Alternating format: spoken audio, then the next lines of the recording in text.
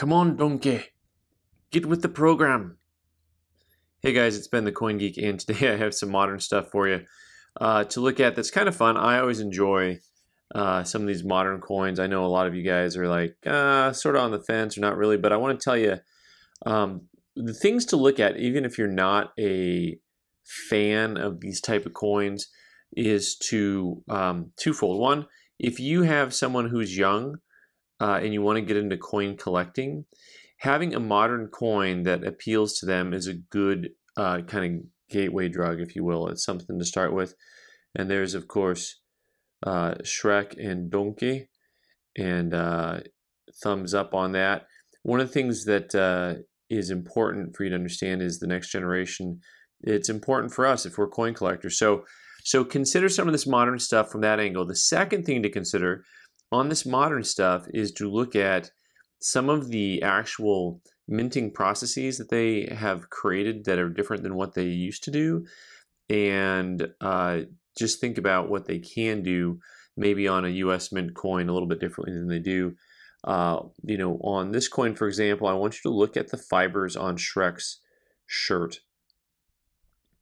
Look at look at the detail on Shrek's shirt. Uh, I find this to be really something that is um, what will we say, exquisite. Uh, that is something that has a lot of life to it and a lot of detail. Uh, and then you look at Donkey's uh, fur and you see kind of the same thing where you see a lot of really fine detail. Uh, and another thing that I want to mention in this video as we go forward here with 1981's uh, uh, Galaga right? I probably say everything wrong from my own childhood, but one of the things that I've talked about sometimes when it comes to collecting is is the chronocentric nature of collecting, which just means that over time you'll see different collectibles come into fashion. Anything from the 80s right now is going to appeal to an entire generation of people that are in their working prime and have money to spend. And so you start making uh, you start making coins that appeal to them or any other collectible that appeals to them and you know voila then you get you get sales.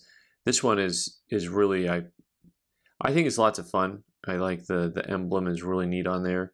Once again paying attention to just what you can do with space with negative space and with uh, the different sheens that they get from the proof-like fields to the matte finishes.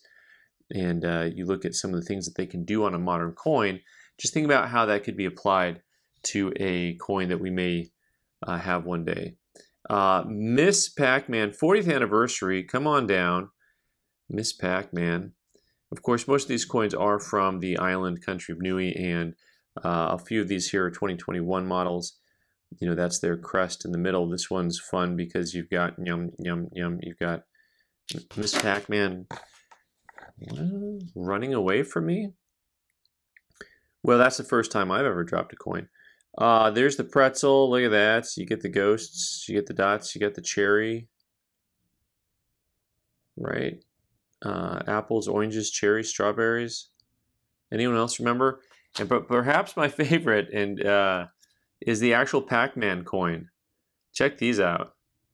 Right, so it's going back to its 8-bit roots with kind of the uh, pixelated look. And this is a $2 from Niue. Also 2021 issue, one ounce fine AG Pac-Man. And uh, this is this is really a cool design in my opinion. Also a 2021. So I uh, I will say that uh, having different shaped coins I find somewhat interesting, and uh, of course just uh, collecting my time, collecting my childhood, that type of thing you know, a lot of these, a lot of these will appeal to me and to people who are of a similar age.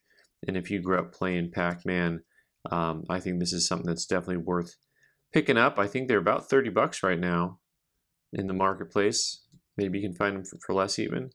Yum, yum. Here he comes, just eating up my eBay store. All right. Thanks so much for watching, guys. I'm Ben the Coin Geek. You can subscribe by clicking on the owl button in the corner and watch more videos on the right side of the screen. Thanks.